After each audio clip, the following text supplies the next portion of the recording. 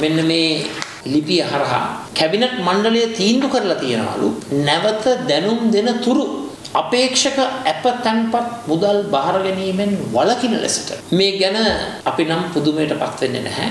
පළාත් පාලන මැතිවරණයේ පැවැත්වීම වැළැක්වීමේ මහා ජාතික කුමන්ත්‍රණය ක්‍රියාත්මක කරලා එහි ප්‍රතිඵල නිකුත් වුණා. විශේෂයෙන් ඒක රජයේ ගත්තු තීන්දුවක්. රාජ්‍ය පරිපාලන මාත්‍යාංශයක අධිකරු ජනාධිපතිතුමා අගමැතිතුමා කැබිනට් මණ්ඩලය ගත්තු තීන්දුවක්. මැතිවරණ කල් දාන එක සුබවාදී වැඩක් නෙමෙයි. මොකද හේතු ඉතිහාසයේ අපි දන්නවා මැතිවරණ කල් දාලා කොහොමද ශ්‍රී ලංකා නිදහස් පක්ෂයට වෙච්ච දේ. මහින්ද රාජපක්ෂ ජනාධිපතිතුමා හැම වෙලේම කියන්නේ මැතිවරණ කල් දාන්න නෙවෙයි මැතිවරණ තියන්න. දිනන්නෝ පරදින්න. අපිව අත්හැරලා ගිය පක්ෂ නායකයෝ ගියාට ඒකේ ගෝලයෝ ටික අන්න ඉතුරු වෙලා ඉන්නවා. අන නාම යෝජනා අසක් කරනවා. ප්‍රජාතන්ත්‍රවාදී අයිතිය පරීක්ෂා කරන්න මැතිවරණ අවශ්‍යයි. මේක දැන් වසංගත කාලයක් යුදමය තත්ත්වයක් ඇත්තෙත් නෑ මැතිවරණය කල් දාන්න. නිසා මේ මැතිවරණය පැවැත්විය යුතුයි. මේ රට බංකොලොත් කළ විශේෂයෙන්ම රාජපක්ෂවරු හා ගැඳිච්ච බලවේග වලට එරෙහිව ක්‍රියා කරන්න පුළුවන් කණ්ඩායම් එක්ක අපි සමගියෙන් ක්‍රියා කරනවා. ඡන්දේ තියන්න ඕන කාලේ ඡන්දේ තියෙයි. දැන් මේකට සම්බන්ධ සියලුම අංශ මේකට මේ මැතිවත්වීම වෙලා තියෙනවානේ.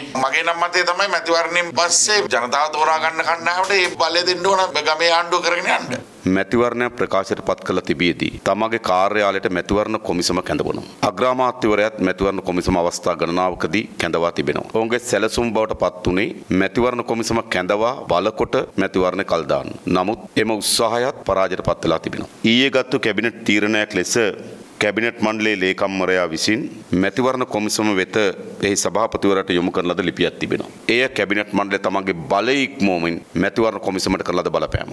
එළඹෙන පළාත් පාලන මැතිවරණයට එක්සත් ජාතික පක්ෂය සූදානම්. නමුත් මේ මැතිවරණයට අපි තරම් කරන ආකාරය පිළිබඳව අපි දැන් දීර්ඝ වශයෙන් සාකච්ඡා කරගෙන තිබෙනවා. මේ සාකච්ඡා ටික නිමා වුණාන් පස්සේ තමයි අපි පක්ෂයක් හැටියට අපි තීන්දුවක් ගන්නෙ. ඒ තීන්දුව කෘත්‍යාධිකාරී මණ්ඩලයත් සමගත් සාකච්ඡා කරලා ඒගොල්ලන්ගේ අනුමැතියත් අරගෙන තමයි අවසානයේදී අපේ රටටත් අපේ පාක්ෂිකයන්ටත් ජනතාවටත් එක්සත් ජාතික පක්ෂ මේ මැතිවරණයට මුහුණ දෙන ආකාරය ගැන අපි නිල වශයෙන් දැනුම් දෙන්න. මෙවර මැතිවරණය සඳහා ඉදිරිපත් වෙනවා විතරක් නෙවෙයි මැතිවරණය කල් දැමීම සඳහා ඔහුගේ දේශපාලන පක්ෂ පොදු ජන පෙරමුණත් එක්ක එකතු වෙලා උපරිම ලෙස කටයුතු කරමිනුත් ඉන්නේ. ප්‍රශ්නේ තියෙන්නේ මැතිවරණයට තරඟ වදින පක්ෂයක එකතු වෙලා කොහොමද මැතිවරණය සම්බන්ධ තීරණ ගන්න.